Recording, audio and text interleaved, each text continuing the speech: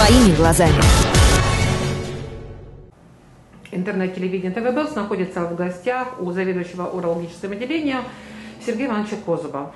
Мы задаем вопросы, которые волнуют наших читателей. Что, как распознать, когда у человека приступы да, в одном в правом боку, такие режущие боли, э, это песок, камни, или это э, вызывать скорую в этом случае надо, или это межреберная невралгия, или это боль в сердце. Как узнать вот при таких режущих болях, да, угу.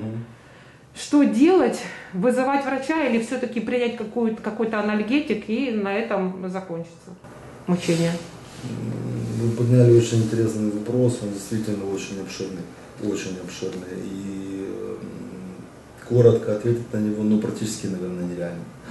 Почему? Потому что ввиду близости определенных органов, то есть, мы о чем говорим, значит, почка, двенадцатиперстная кишка, желудок, печень, то, что вы говорите, диафрагма и так далее, да, поэтому наслоение этих органов друг на друга, значит, практически одни и те же сегменты иннервации этих органов, маскируют одно заболевание по другим. Э, поэтому ставить самому себе диагноз – в домашних условиях это неправильно, неправильно. Подчас и специалисту, специалисту со старта в ближайшие часы тяжело разобраться без определенных обследований, что на самом деле происходит с человеком. Да? Вот.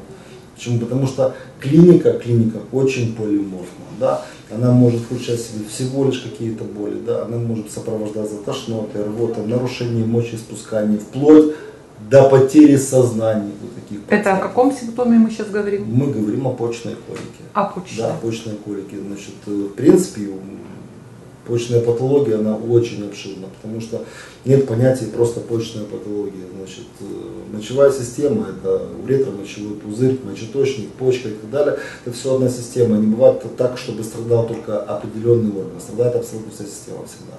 Поэтому еще раз говорю, правильно обращаться к специалисту. Это мы были в гостях у заведующего урологическим отделением Сергея Ивановича Козуб. Все, спасибо вам большое. И хочется пожелать нам здоровья нам, и вам, как врачу, и нашим горожанам. Берегите себя и свое здоровье. Спасибо взаимно.